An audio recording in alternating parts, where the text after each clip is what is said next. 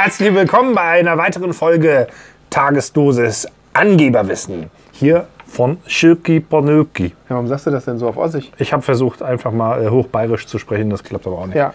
So. Wir haben heute den 3. Februar. Und am 3. Februar hat wer Geburtstag?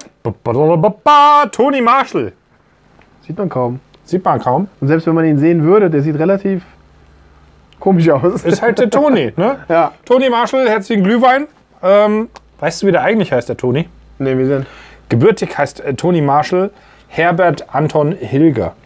Warum hat er den nicht behalten, den Namen als Künstlernamen? Ist doch super eigentlich. Weil das dann auf diesen ähm, Covern, auf diesen Schallplattencovern wahrscheinlich nicht draufgepasst hätte. Hätten sie um die Ecke schreiben müssen. Das ist alles Toni Marshall. Das ist alles Toni Marshall. Deshalb habe ich es mitgebracht, damit ihr mal hier die Evolution sehen könnt. So noch äh, so, sieht Schöne Maid, hast so ein bisschen aus wie Mowgli aus dem neuen Film. Wer? Ja? Mowgli. Ja. Hier sieht er aus wie äh, so eine Mischung aus unserem äh, Nationaltrainer. Wie heißt der? Äh, Yogi Löw. Yogi Löw, ne? Und das ist hier, äh, wie heißt der? Äh, Lane? So ein bisschen aus, aus ja genau, Klapperlängen, nicht Klapperlängen. Ja, stimmt, der hat ja keinen Afro gehabt. Apollo Creed, Nee, genau. ich dachte eigentlich mehr an, an Chef. Wie heißt der von Chef Nee, der hat eine Glück, Glatze gehabt, Chef. Der hat eine Glatze gehabt. Das ist blöd. ne? Ja. Aber irgendwie ein Afro, jedenfalls. Und, und, und so eine Mischung aus Afro und aus Babyface. Aus Afro und Dia, äh, die Siakon.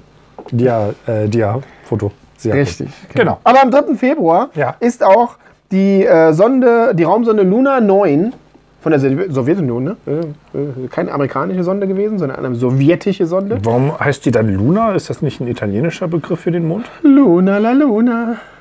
Ha? Was ist, wo, wo ist denn das her? Wahrscheinlich aus dem Lied. Ja, aus irgendeinem Lied, genau. Luna 9 ist auf dem Mond gelandet, 1966 war das. Ja, gut, macht ja nichts.